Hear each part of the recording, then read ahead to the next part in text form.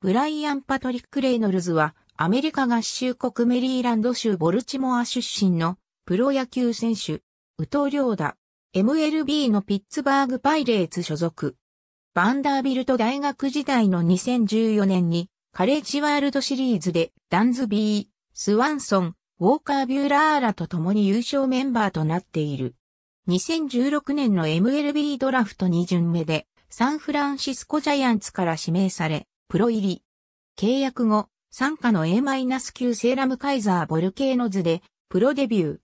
A 級オーガスタグリーンジャケッツでもプレーし、2球団合計で56試合に出場して打率。313、6本塁打、38打点、3盗塁を記録した。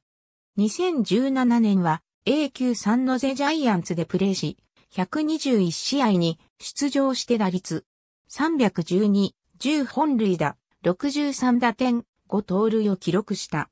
この年は、オールスターフューチャーズゲームのアメリカ合衆国選抜に選出された。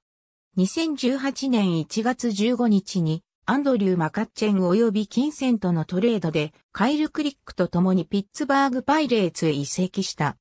シーズンでは、参加の AA 級アルトゥーナカーブでプレーし、88試合に出場して打率302、7本塁打、46打点、4盗塁を記録した。オフにはアリゾナフォールリーグに参加し、サプライズサグアロスに所属した。2019年は開幕をトリプル A 級インディアナポリスインディアンスで迎え、4月28日にメジャー契約を結んでアクティブロースター入りした。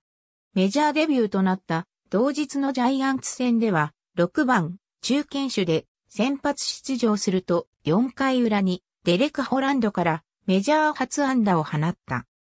1年目から外野手のレギュラーとなり、134試合の出場で規定打席にも到達し、打率314.16本塁打、68打点、オプス880などの好成績で、後半は打順2番に定着した。守備では外野の3つすべてで先発出場を経験したが、左翼手での出場が一番多かった。新人王の投票では、ピート・アロンソ、マイク・ソロカ、フェルナンド・タティス・ジュニアに次ぐ4位だった。2021年7月4日に、選手間投票で控え野手として自身初となるオールスターゲームに選出されたが、オールスターゲーム前日の7月12日にファン投票で選出されていたロナルド・アクーニャ・ジュニアが怪我で辞退したこともあり、8番中堅手で先発出場することが発表された。